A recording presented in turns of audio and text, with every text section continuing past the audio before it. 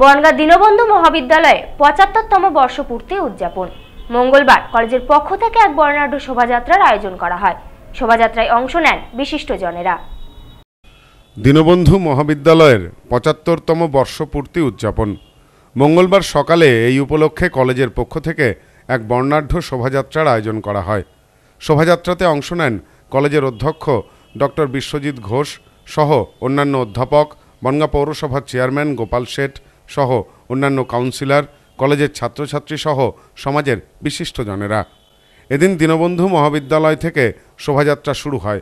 শোভাযাত্রা বনগাঁ মণিসাঙ্গন চত্বর ঘুরে ফের ফিরে যায় কলেজের দিকে। এদিনের শোভাযাত্রাতে ছাত্রছাত্রীদের পাশাপাশি কলেজের এনসিসি দলের সদস্যদের উপস্থিতি ছিল চোখে পড়ার মতো। আজকে পঁচাত্তরতম, হচ্ছে, উদযাপন হিসাবে আমাদের কলেজে আসতে পেরে আমরা সাধারণ ছাত্রছাত্রী হিসেবে আসতে পেরে খুব আনন্দিত। এই শোভাযাত্রার মধ্য দিয়ে আমরা আজকে এই পঁচাত্তর বর্ষ পূর্ণ- করলাম। এই পা দিলাম পঁচাত্তর বর্ষে। পাশাপাশি আমাদের কলেজে সাংস্কৃতিক অনুষ্ঠানও আছে। পাশাপাশি আজকে থেকে যে আমাদের বিভিন্ন অনুষ্ঠানগুলো শুরু হলো। আজকে প্রথম বর্ণাঢ্য শোভাযাত্রাতে শুরু করলাম আমরা। শোভাযাত্রা আরও রঙিন করে তুলতে আদিবাসী নৃত্যসহ নানা অনুষ্ঠানের আয়োজন করা হয়। এ বিষয়ে কলেজের অধ্যক্ষ ডক্টর বিশ্বজিৎ ঘোষ এদিনের অনুষ্ঠান সফল করবার জন্য সকলকে ধন্যবাদ জানান। তিনি বলেন আজকে পঁচাত্তরতম বর্ষের উদযাপন উৎসব। তার জন্য প্রথমত আমি ধন্যবাদ জানানোর পালা। আমার গভর্নিং বডির সবাইকে আমার অনেক অনেক ধন্যবাদ। মিউনিসিপ্যালিটি চেয়ারম্যান সাহেব, মিউনিসিপ্যালিটি পুরো যারা আছেন, সবাইকে আমার তরফ থেকে অনেক অনেক শুভেচ্ছা, ওনাদের প্রচুর সাহায্য আমি পেয়েছি। আমার ছাত্র সংসদ, তারা ঝাঁপিয়ে পড়ে কাজ করেছে।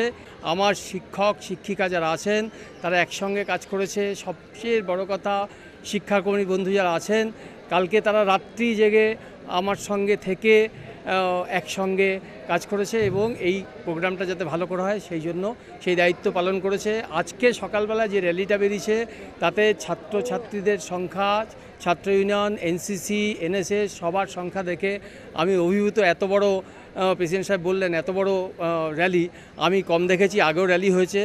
আমরা আগামী দিনে যেটার জন্য বলার উদ্দেশ্য, আগামী দিনে স্টুডেন্টদের সঙ্গে নিয়ে, সবাইকে সঙ্গে নিয়ে আমরা অনেক অনুষ্ঠান করতে যাচ্ছি এবং সেটা জানুয়ারি, ফেব্রুয়ারির মধ্যে পরপর পরপর অনুষ্ঠান হবে। আজকে যা শুরু হলো সেই একটা পা ফেললাম এখানে আমরা একশো পা যাওয়ার জন্য আমরা তৈরি হয়েছি।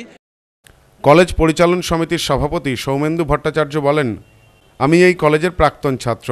পায়ে পায়ে আমাদের প্রিয় কলেজ আজ পঁচাত্তর বছরে। এ এক অদ্ভুত ভালো লাগা।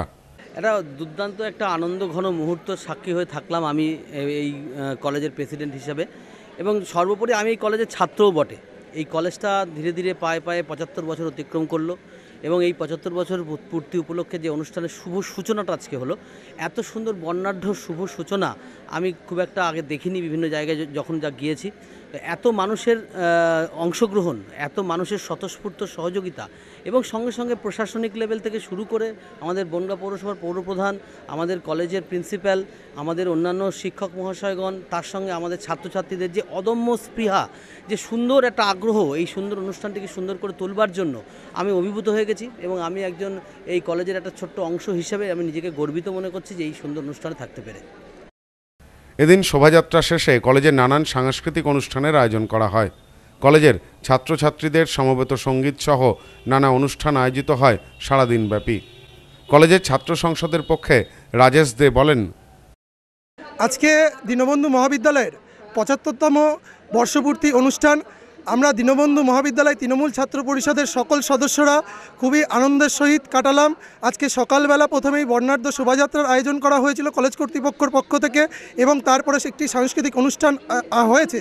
আমরা বলতে পারি মমতা বন্দ্যোপাধ্যায় যেভাবে ছাত্রছাত্রীদেরকে অনুপ্রেরণা যোগায়, সেইভাবেই আমরা দীনবন্ধু মহাবিদ্যালয় তৃণমূল ছাত্র পরিষদ দীনবন্ধু মহাবিদ্যালয়ের সাথে একসাথে পায়ে পা মিলালাম এবং প্রাক্তন ছাত্রছাত্রীদেরকে নিয়ে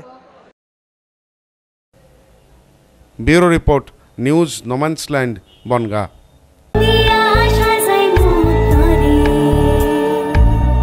নারীর সৌন্দর্য শাড়িতেই সঙ্গে রয়েছে আদি মোহিনী মোহন কাঞ্জিলা